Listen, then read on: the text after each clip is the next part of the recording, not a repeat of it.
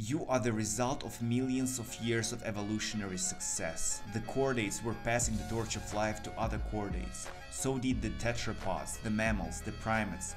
Your ancestors were going through earthquakes, tsunamis, tornadoes, floods, famines, wars. They were surviving to pass the torch of life to future generations, which eventually came to you and you came to this planet as a human and you live in what could be the best times of human history where you have enormous opportunities to be whoever you want to be.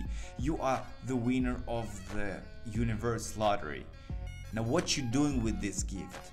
Watching porn, playing computer games, smoking weed all day and complaining that your life is not where you want it to be? The same way you've chosen to be weak at some point, you can choose to be strong and start creating the life of your dreams.